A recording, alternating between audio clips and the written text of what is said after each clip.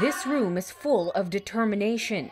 These women are preparing themselves to work as domestic helpers in foreign countries. Suryani begins her day at 8:30 in the morning. She's learning to be an elderly caretaker. But before she's assigned to chores, she heads to class where she'll learn basic Mandarin to help her communicate fluently in countries such as Hong Kong and Singapore. This training helps me a lot, especially to communicate with my future employers in Mandarin. Suryani prefers to secure jobs outside of Indonesia. Not only does it expose her to new experiences, it pays five times more. The salary I receive from working abroad can help educate my siblings and also start small businesses back home. These women are on the right track. President Joko Widodo wants to stop sending unskilled labor abroad by 2017.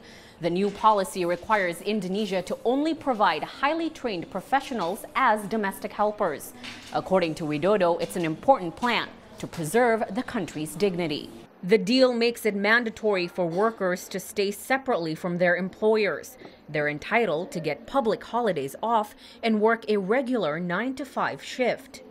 It's an ambitious plan, but one that promises better protection for Indonesian workers abroad. dari Kementerian Ketenagakerjaan Our government is considering a stated plan. If we improve the competency of skilled laborers, there is a possibility that they can live separately from their employers. But it all has to be discussed with the receiving countries. Hindarno says it will be executed in phases, starting out with professionalizing informal employment. That gives Chi Kyung an opportunity to grow his recruitment network even bigger. In this training center, we teach all of our candidates the basics of domestic work, such as work ethics. Because as domestic helpers or elderly sitters, they have to know how to interact with their future employers professionally.